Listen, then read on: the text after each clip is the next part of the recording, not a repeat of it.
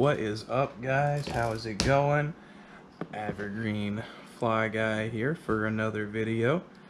We're actually going to be doing one of my all-time favorite nymphs. Can you take a guess? No? Alright. We're going to be doing the Rainbow Warrior today. I actually went and got the stuff specially to do it and everything's cleared out right now. So I didn't get the exact stuff, but I have very, very close. And they don't look any different. Let me pick a good one up. I've done about four already to make sure I got it down because I want to do them perfect. Because like I said, they're my absolute favorite, favorite nymph. There you go. That is the Rainbow Warrior. Let me show you what we're going to be using today. We have some OT6 red thread and if you can get higher I would go like an 8 or something because let me tell you this 6 is very thin and it breaks pretty easy um, we have some rainbow silver tinsel and for our flies we are using size 14 nymph flies and these are just um, what is that brand I don't know starts with a U. I'm sure you guys know it. Um, for our bead head, we're just using some White River brand tungsten bead heads. And uh, this is a 330, 332. And they're actually like the perfect size for it because you actually got to put them on, push them on there a little bit, but they stay nice and steady up top. Um, for my dubbing, I actually didn't, couldn't, it calls for a rainbow dubbing, couldn't find rainbow, but I got some ice dub in olive brown that has a really nice rainbow shade to it, and it actually looks pretty good on the hook, if you couldn't tell. So we, we you know, we have the gist of a rainbow warrior. We got it changed up a little bit, and we got some pheasant feathers here for our tail. Now I have already set up our Sorry, I'm making sure I got a good angle on that. Already set up our hook and our bead head. So now I'm just going to take, I'm to put on a little thread to it, get it dressed up looking nice. And now I'm pulling this out by, by rolling it instead of pulling it out by hand because as I was working earlier and discovering, if you pull it out by hand, this OT6 thread will snap very easy. So I'm very careful not to put too much pressure on it it works very well for everything we're doing. It just, it's a little bit thin than I would have liked. But beggars can't be choosers because everything seems to be cleared out at Bass Pro Shop and Cabela's. Because I got this stuff at Cabela's, I got some stuff at Bass Pro a couple days ago, and everything, everything has just been cleared out on all their shelves. I'm guessing they're having some shipping issues. And I just shipped Ugh, I just cut off my end, my little end tag there. I'm gonna cover it back a little bit. All right.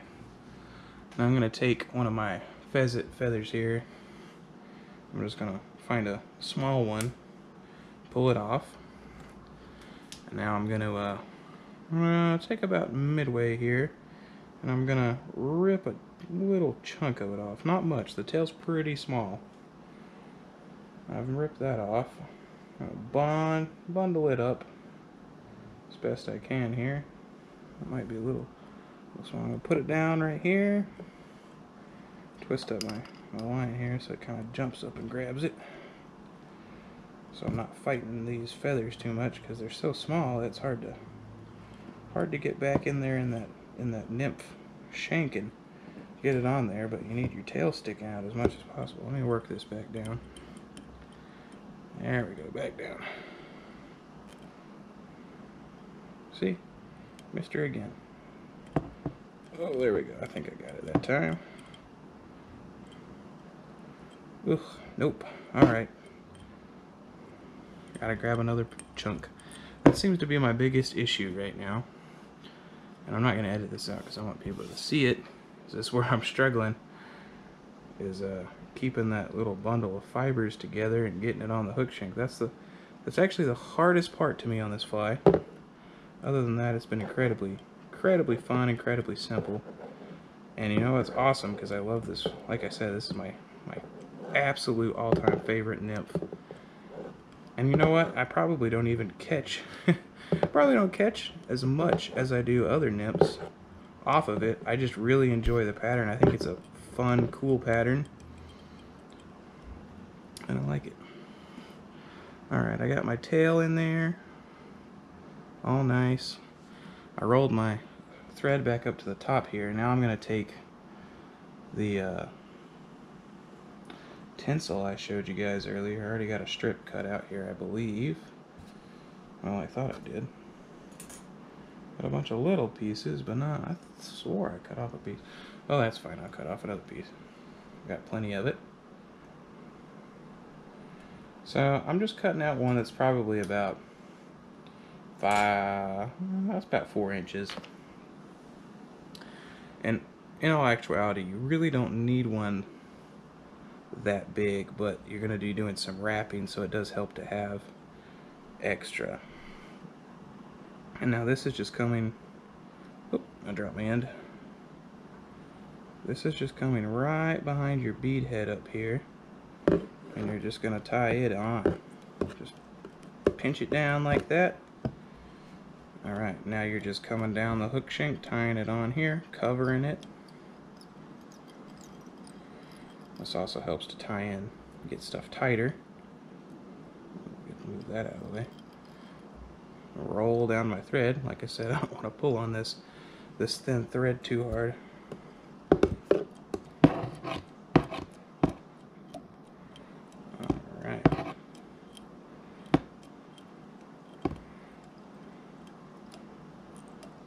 Sheesh. This angle's killing me. Just trying to get behind it as best I can. Cover that up there. Roll some more out. Stay back there. Oh I'm gonna get right down in here and get it all tucked back right like it needs to be. Now I'm to take it back up to the top and roll it out once more. Because we're to do something with it in a second. Alright, now we have our tinsel. You're going to take your tinsel and you're going to wrap it around your body.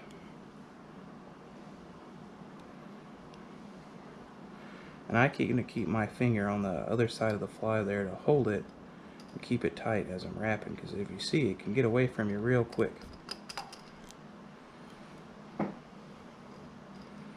especially because it's all loopy and stuff like this. So, best to keep a lot of tension with the tinsel. It's not like this thread and it's not going to snap very easy. It's going to stretch and actually probably make it a little bit easier to deal with. so we're just coming around here. I take it around the head of the bead an extra time. And make it tying in a little bit easier. And you're just tying it in with your thread. Nice little build up right there. Now you're not going to snip this. You're just going to tuck it back once more out of the way here. Alright. Now comes the dubbing. I'm going to take this ice olive dubbing I've got. And I'm not going to take much. Because a little bit goes a long way with this dubbing is what I've noticed and I'm gonna just twist it onto my line here get a hair more. It's got a hair on the package isn't that funny?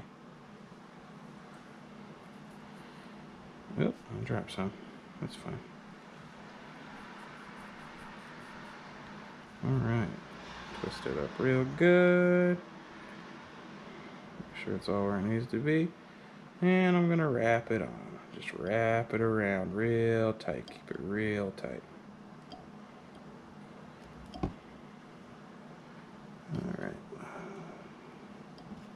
That is probably plenty, so I'm going to take this right here and peel it back off.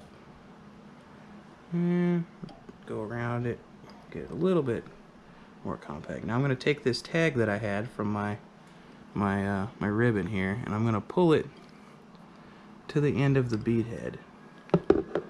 And now I am going to get that tag and I'm going to tie it in to the top of the bead head there, which I just did. And now you can go ahead and cut that tag right there. Get it out of the way so you can see. I'm going to trim back some of this wild dubbing. Being very careful I don't touch my, my string. Alright, that's trimmed back a little bit. Now I'm going to roll out my string. Take my whip finish tool, load it up here. Get my space, put it on. I'm gonna go probably three, three times should be perfect. Drop it out, push it up. Got my, take my line. I'm gonna cut my line here. And I see some more on this I'd like to trim up, so I'm I'm gonna do just that. Alright, we're looking good right now. Okay. Now we're just gonna take our I got my UV glue here. I'm actually using the thick because I tried the thick out. I've been I had been using the thin. I tried the thick out when I started doing my salmon. Not salmon, sorry, steelhead flies. And it seemed to work better, so I'm just kind of using it on everything at this point because I'm like, well, if it works, it works better. Or it seems like it's working better. So I got that on there. I hit it with my UV light.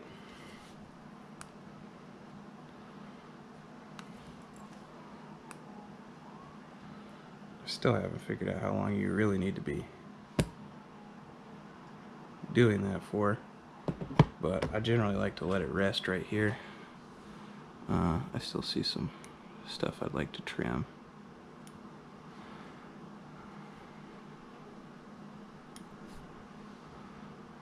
kind of a perfectionist when it comes to the dubbing. I don't like it being too wild. But, um, yeah, there you have it. There is our Rainbow Warrior Nymph. A little bit different. Here's another one I did. See a little bit better. I kind of left the, the dubbing a little more frayed on that one. Kind of a bigger presentation a little bit. But yeah, these have been coming out pretty good, if I do say so myself. Very nice little nymphs. Like I said, all-time favorite nymph. Might not be the one I've caught the most fish on, but it's still still my favorite, still dear to my heart. I really, uh, I had planned on doing some more steelhead flies, and I'm still gonna. I'm gonna probably do some more of those tomorrow, and so you can look forward to that in the next couple days coming. I have two more patterns, I think, for the steelhead. Two or three more patterns. I don't remember if I did three or four patterns. If I got the stuff for three or four patterns. And then I, I just, this was like a spur of the moment thing. I was like, I saw a, I saw a thing about Rainbow Warriors and I was like, dang, I want to do a Rainbow Warrior. And those, uh, the streamers I was doing, the Mylar Motos, kind of gave me a, like a, a Rainbow Warrior vibe to a streamer. And I was like, that's, that's cool. So, yes, I have a lot of different flies coming lately. Um, the series is actually I've been doing way more than I thought, just because it's been so the weather's been so bad. I don't. You could probably hear the rain in the background. It's it's just been so heavy, and there's been I've been trapped in here on my uh, holiday break, so it's just been a lot of fly tying. But I've been picking up a lot very quick, and I, I really enjoy it. So um, yeah, check that out. Um, unboxing video. I have a, another kit coming this Wednesday, all things permitting, and I will do an unboxing video then, probably have it up Thursday or Friday.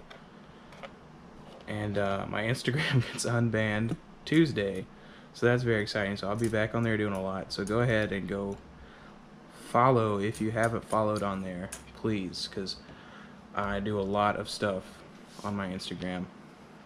Well, obviously I'm on YouTube a lot now, but that's going to be the quickest way because I post on their upcoming videos before I, I actually like have them on YouTube. So, thanks for watching. Don't forget if you enjoyed the video, like, subscribe. I hope it helps you tie one.